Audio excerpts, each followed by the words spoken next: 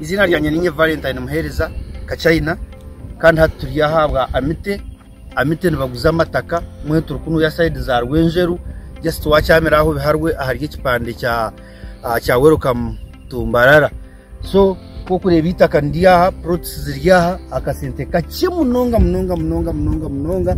So tukusabira kimwe. Ngwi wari kwenda aho kurisiza wari kwenda aho kurisiza empunu aho kwenda wari kwenda aho kurisiza embuzi wari kwenda kumbeka amaju gawe wari kwenda uh, kurugwamo omukanyoragano nketeki omukatogo k'omutawuni omusilamuzi izo base kuba noyitungira aha proti aha sente nke munonga munonga munonga.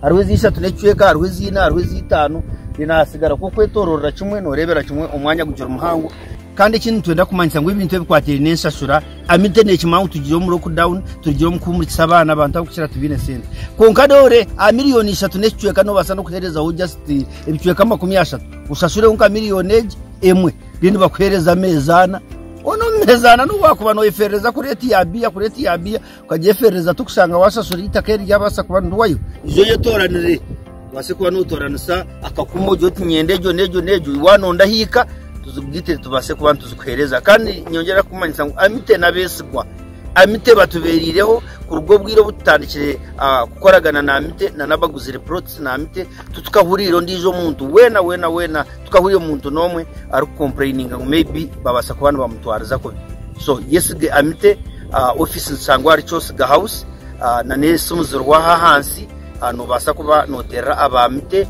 noija nyabura we notunga ah, ah, proti yawe iyo urikwenda yona.